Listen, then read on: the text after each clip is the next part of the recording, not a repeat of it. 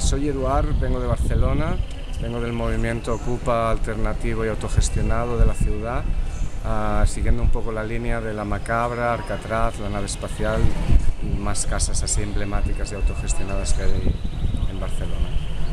Y este soy yo. ¿Nos cuentas un derecho urbano que crees que habría que conquistar?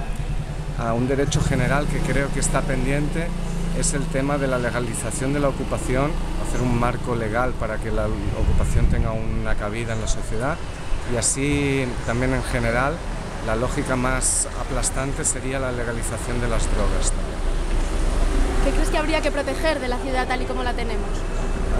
hay que proteger todo lo que son asistencias sociales. Es, es inasumible para la sociedad los recortes en asistencia social si hay una crisis o hay cualquier emergencia económica, tenemos que ahorrar mediante otros, otras facetas de la sociedad, no mediante hacer recortes en, en los derechos asistenciales que tiene la población.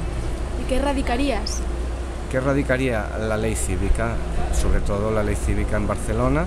Es una cosa que frena la libre expresión de, las ideas y del desarrollo de las actividades artísticas de la gente que no tiene recursos. Pues muchísimas gracias.